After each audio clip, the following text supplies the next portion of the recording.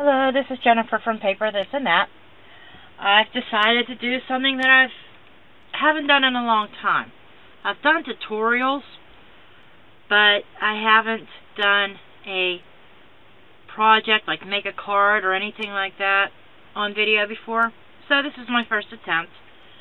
And what I've done is I've went into the Cricut Craft room and used the digital version of Create a Card cartridge and I thought I would just do a little exploration of this cartridge and try to make a simple card out of it.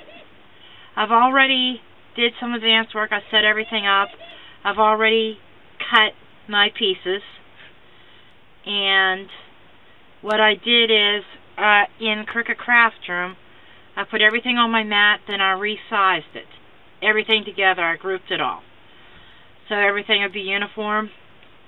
And I did have to adjust the bird size a little bit. The bird, my birdie's still probably a little bit big, but that's okay. I didn't want a super small bird either.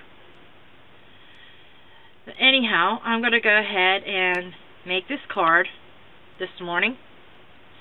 I'm going to give this to included in a package for my swap partner on mini album scraps for a swap that we did I still have to get her book to her because I was out with really sick for a couple weeks. And it is late but she is aware that I was sick. So I'm going to go ahead and take everything off my mat now. But what I did is when I resized this I tried to make the card the size that I wanted it.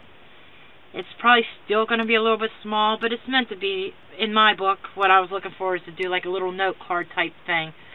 But I measured it to where this was about 10 inches long and about 5 inches wide. So that's the size of the card that I did.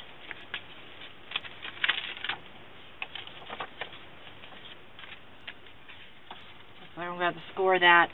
This little section here, though, I don't know about you, but big sections like this, I'm going to set this aside. I could probably use this on another project as a some kind of background or some kind of for a title or something to put on a mini or something. Or even another card and put something in the middle here. So I'm going to save that.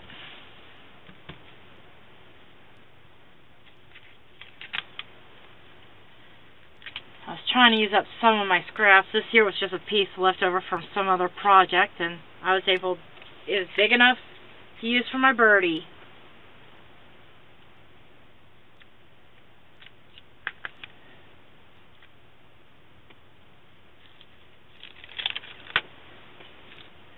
I was very pleased how well this cut out.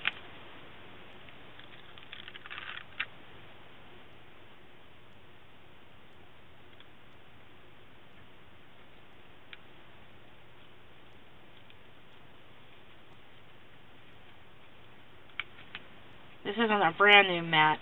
This mat here is something else I did. Is I just wasn't happy with the 12 by 24 mat and I actually ruined a mat because it was so sticky and when I tried to cut a bunch of projects on it all the paper I tried to cut really intricate projects which I shouldn't have done on one of the mats and all the paper stuck to it I couldn't get it off I had to totally trash out mats, so that was a waste of money. But for me, the 12 by 12 is more manageable. so I actually cut one mat in half. It, my leftover 12 by 24 and made it a 12 by 12 and it works great. I got the 12 by 24 thinking I cut really big, cut a lot of pieces at one time, but you know what? It just wasn't working out for me. I'm not a fan of the 12 by 24 mats.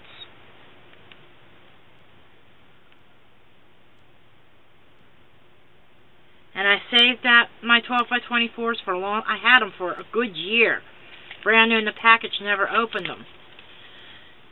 And I was getting to the point where all my other mats weren't sticky anymore, and I didn't have anything to make them sticky, so I broke out my 12 by 24 mats, and this was the final result of that.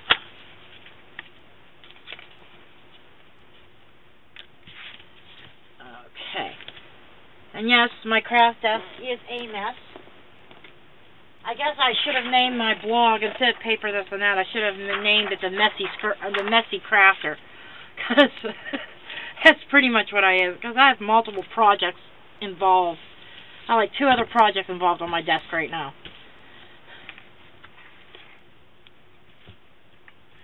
And you can see leftovers from one of them.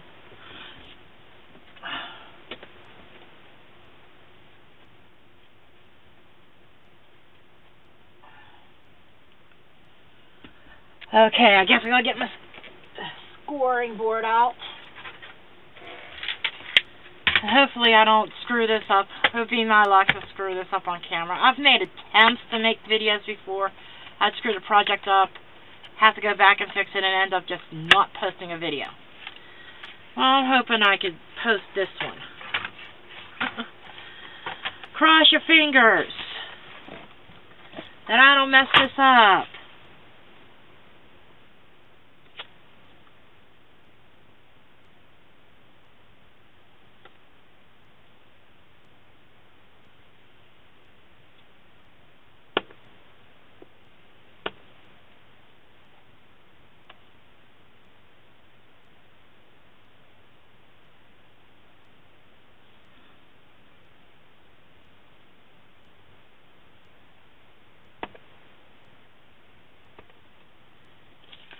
Okay.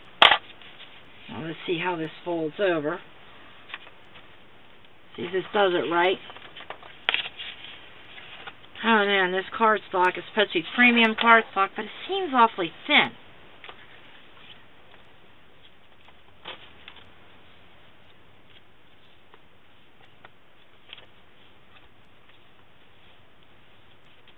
Okay, I think I got it.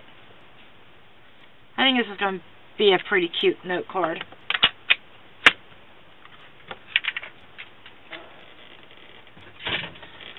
Okay.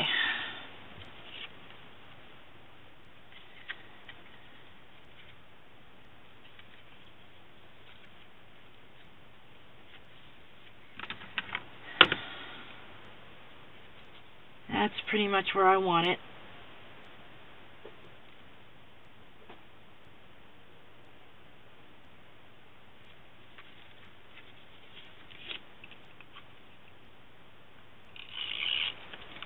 I would normally use my ATG, but I'm running low on ATG tape. I need to get out and get some.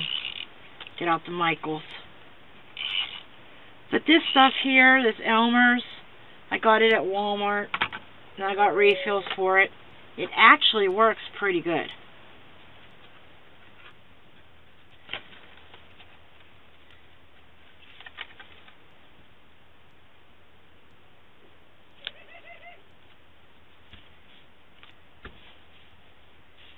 Okay, so that's this is what I have so far. I put my background piece right here. This is where my little message is going to go to Tammy.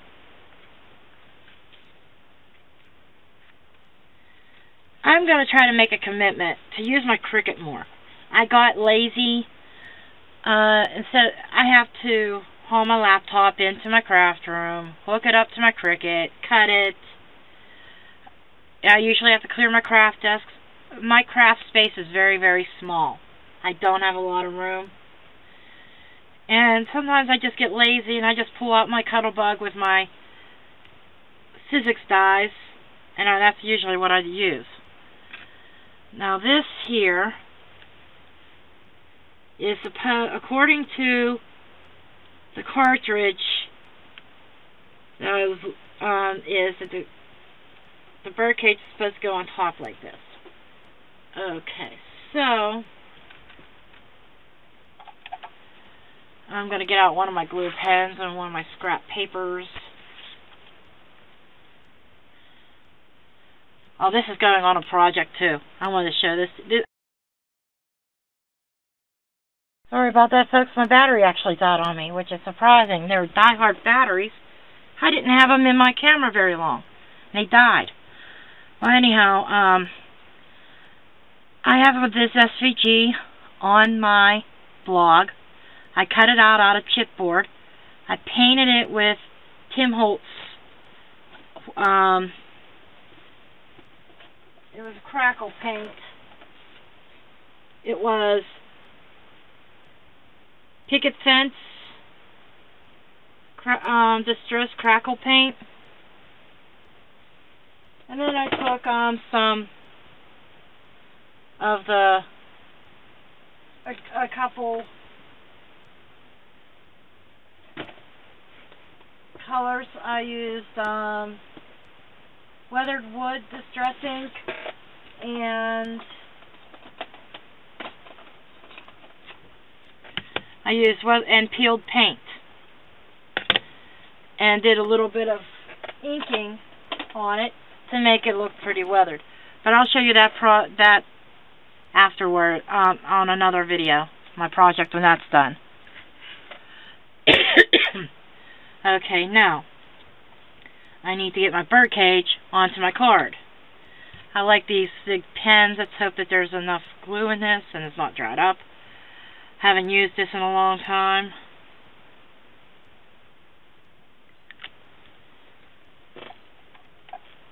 Maybe I'll use this one. This one's a little bit fatter. This has more stuff in it too.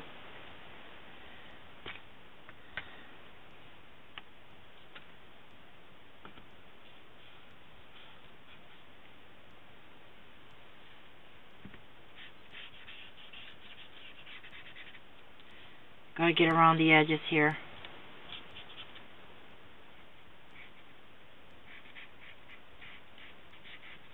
Gotta remember, do not glue the inside.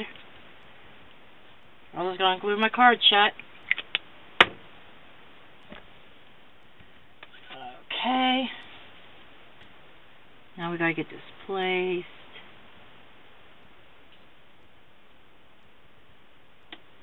On here like this.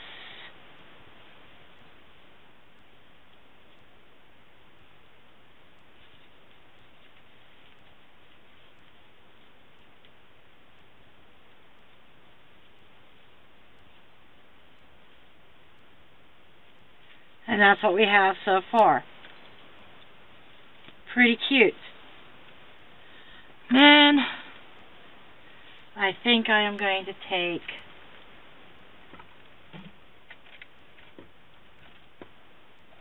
I'm going to take one of my markers.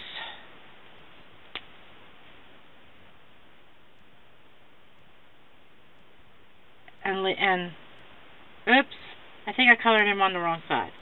Doesn't matter. It's getting glued down anyhow. I'm going to make an eye here.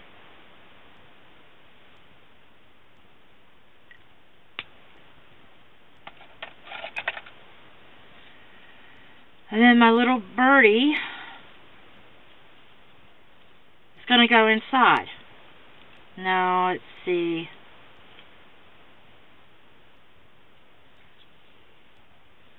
I think I'm going to pop them up on a little bit of foam tape here.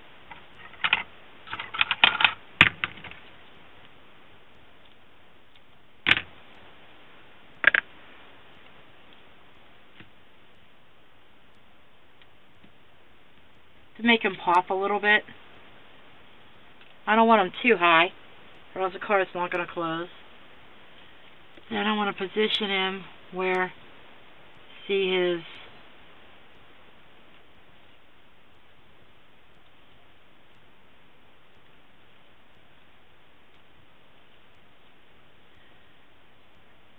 And this is what the, the card is supposed to look like after you have everything on it. But of course, I'm not happy with just leaving it like that. Um, let's see, what else can I do?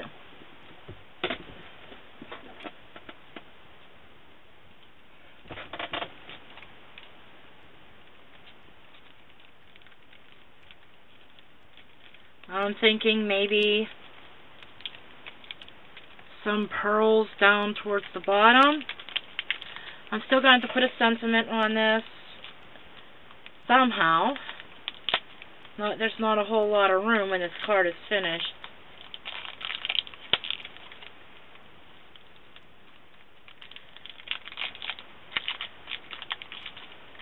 I got these real little tiny pearls at a really good price from the Mass store, Mini Album Scraps store. Haven't used them yet.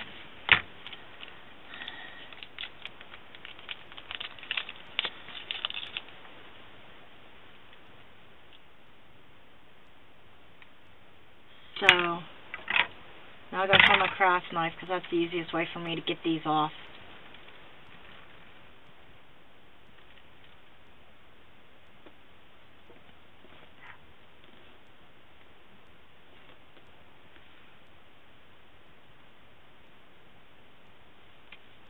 I think I'm going to put some pearls along the bottom of the bird cage here.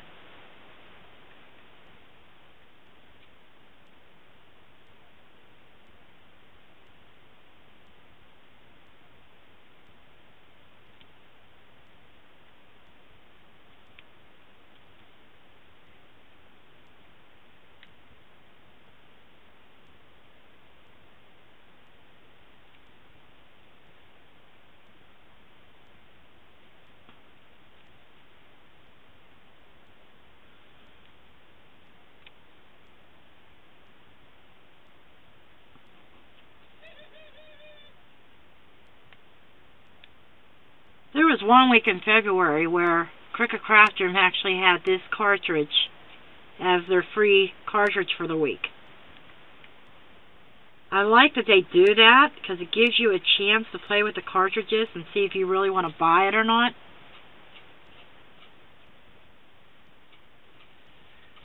Okay, so there I've got my pearls at the bottom.